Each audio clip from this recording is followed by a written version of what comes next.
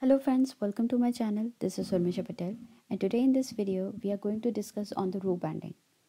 So this row banding is mainly the alternate color bands that we can see on this row wise. So that is called the row banding but we'll understand what are the tableau standards for formatting and how you can improve the readability of all the fields which we use within this text table or anywhere you use but mainly whenever you create a text table you find such kind of a row banding as a default tableau standards so let's see how to remove it or how to enhance the view so as you can see this is my um, uh, this text table that I've created based on the gender and ethnicity. And these numbers, uh, as you can see, the measured fields, they are the number of education counts. Um, so uh, these are about based on the gender and the woman. So what you see is these color bands, which are uh, row wise, they are showing. They are showing in terms of um, in every alternate with the grayish shade. So uh, this is common for the whole row. But let's say I just want only uh, for specific, let's say just for the gender or let's say just for making sure that uh, specific gender, it show uh, those color bands. So how to increase or uh, improve that readability. So for that, right click anywhere on this text table that you have created on the sheet and then go to the format and uh, to uh, see on this row banding side for that click on this shading. So format shading and in that you will find this one of uh, the row banding.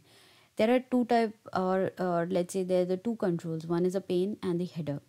So what exactly this header would be? Header would be the uh, these as you can see these are the headers.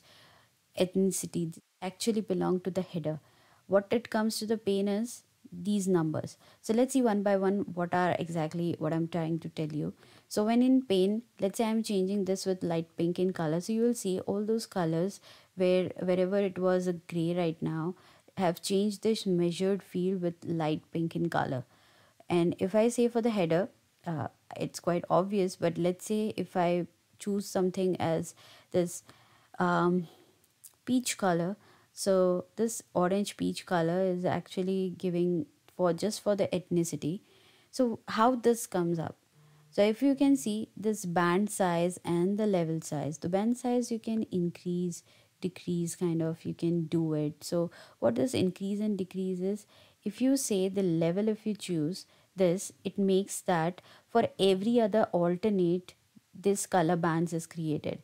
If i choose the other uh, the third selection of the band size which means that every two uh, rows you can have these colors. If i choose the fourth band size which means that every uh, three rows just except that first three rows it has the color. So every other three rows there is an alternate other three rows you have this color band. So uh, so band size means the number of um, rows has been increased by its level. And uh, instead of alternate it uh, makes the difference of those many number of rows what you choose as the size. So uh, if uh, so right now it's showing just for uh, until one two three four five six. So sixth one that means uh, for every fifth um, every five rows uh, in every next of the five rows. So from the sixth row uh, the next fives are being colored with that uh, header or the pane that with that uh, row banding. So that's how the uh, band size works. So i'll go with the default one which is this where every alternate one. But if i see the level so what exactly this level functionality would be right now it's giving you the level at the ethnicity. But let's say if i change and make it somewhere over here then the level it will be based on the gender so that's how it increase or improve the readability that on what basis and on what level you want to have this row banding.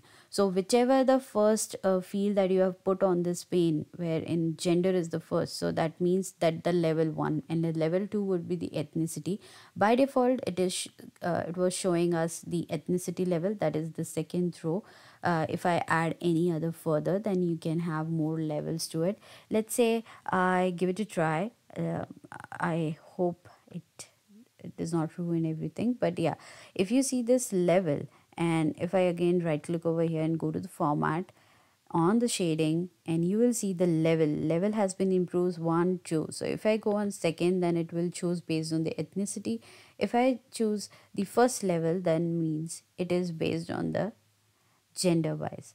So that's how you can increase and improve the readability using the row banding. You can also remove that row banding just by making it none. Select the none from there and you can have the normal without the row banding.